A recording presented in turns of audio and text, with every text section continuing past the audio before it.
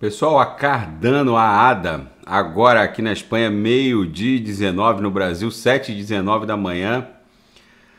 Tá a ponto de bala de explodir aqui, ó, e encarar aqui a nuvem de Shimoku já nas próximas horas. Vocês percebam que ela teve alguma dificuldade para migrar para a banda superior do canal de Keltner, mas o fez.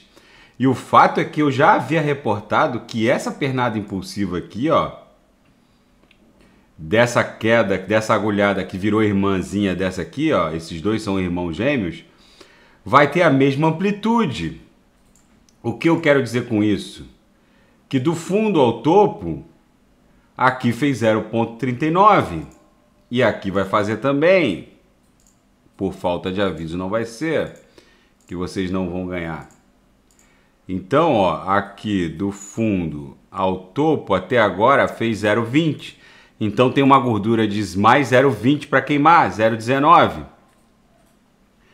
Então, pessoal, é muitíssimo provável que a Cardano vai encarar essa faixa resistencial aqui ainda nessa pernada, hein? De 1,35 com picos para 1,37. E vai acabar rompendo a linha superior aqui da nuvem de Shimoku, exatamente como a BTC está fazendo. Exatamente como a BTC está fazendo. A nuvem de Shimoku na, na, projeção de 26 períodos segue afinando, ensaiando a criação de uma nebulosidade esverdeada. O Squeeze está avançando aqui já para o segundo quadrante da banda superior da métrica. O MACD está com ambas as linhas exponencial curta e a lenta migrando agressivamente para a banda superior da métrica.